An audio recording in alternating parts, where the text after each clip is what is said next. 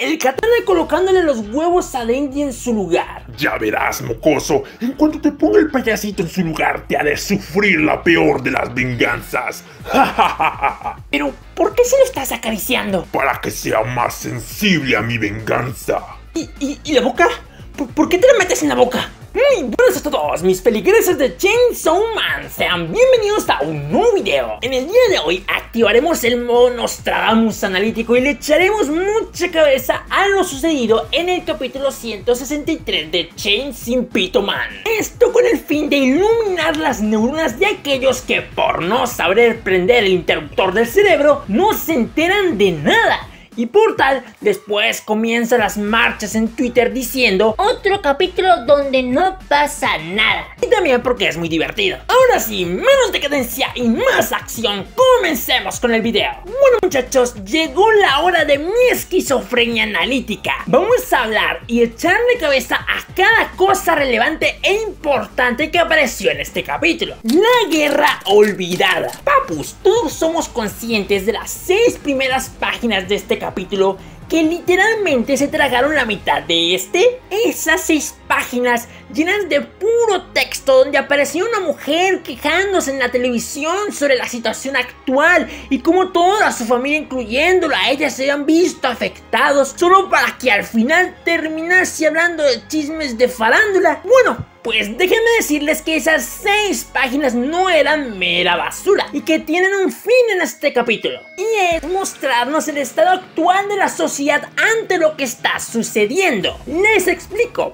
El que la mujer comenzase con un tema serio, pero poco a poco lo fuese difuminando hasta llegar a un tema de farándula, nos muestra la poca importancia que la gente le está dando a la crisis, viendo como un punto más importante las infidelidades de televisión. ¿Qué pasa con esto? Te preguntarás. Pues bueno, que si la gente les empieza a valer un pepino lo que está sucediendo, eso significa que no tendrán miedo a una guerra. Y si no tienen miedo, Yoru no podrá obtener poder, por lo que ésta se volverá débil o su poder se estancará. Tal y como pudimos irlo viendo en la pelea contra Quan Chi donde se suponía que Yoru ya estaba bastante chetada, pero de una patada se la bajaron, eso sí. Por tal, eso significa que una semana después de que todo comenzase, las personas comenzaron a olvidar y a restar la importancia a lo que estaba pasando. Entonces, teniendo esto en cuenta, podríamos decir que es muy difícil que llegue a darse una guerra. Por tal, perdiste Yoru. No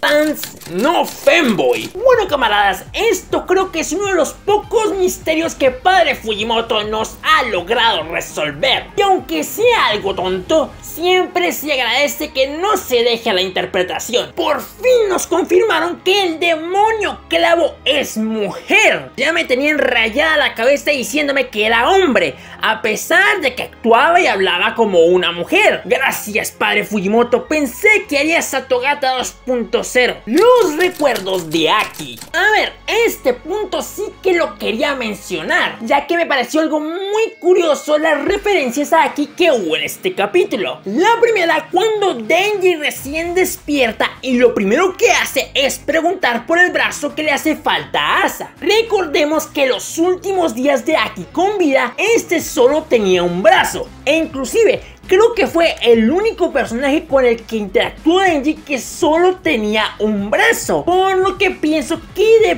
pronto le habrá hecho recordar algo. Y la segunda, el incidente de las bolas. Donde tanto Katanaman como Yoru le pegan en los testículos a Denji uno detrás del otro. Justo como Aki, mi amigo sin bolas, habían hecho en el pasado cuando vengaron a Jimeno. Y no sé, de pronto a las malas Denji habrá recordado cuando él y Aki dejaron sin hijos al katana. Bueno, el punto es que están introduciendo muchas referencias o situaciones similares a las que se vivieron con Aki en el pasado, casi como si más adelante fuesen a introducir a la trama algo relacionado con él. Y no sería algo extraño, ya que desde hace varios capítulos nos han querido mostrar que a Denji todavía le afecta y le duele la muerte de Aki de Power. Además de que su sus enemigos usan esto para hacerle daño psicológicamente, tal y como sucedió con el demonio de la caída y también como ocurrió con el asesinato de Nyako, el gato de Power. Por tal, no veo muy imposible que Fujicristo vaya a utilizar el trauma de sus muertes para darle un plot twist a la historia en la parte 2.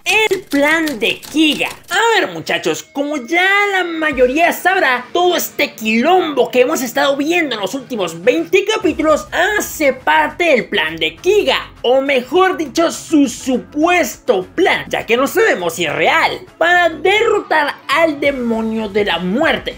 Así que todas las artimañas que ha hecho como la masacre a nivel internacional de convertidos en motosierra, la guerra que está a la vuelta de la esquina por caer, el atentado y asesinato de la familia de Denji, la desaparición barra muerte de Nayuta y el rescate de Denji de seguridad pública todo es para tener éxito en la batalla, haciendo que Denji Mopochita se encuentre en su máximo poder. Pero como sabemos, eso solo se puede lograr quebrándole el alma y las ganas de vivir. Por tal, el plan era que después de destruir la familia de Denji y rescatarlo de las instalaciones de seguridad pública, Kiga lo torturaría psicológicamente hasta quebrarlo. Y así, al igual que con Makima, aparecería Pochita. Pero debido a algunas complicaciones como tener a medio vecindario en su escondite, las cosas no podrán hacerse según lo planeado. Y hasta es posible que pase cualquier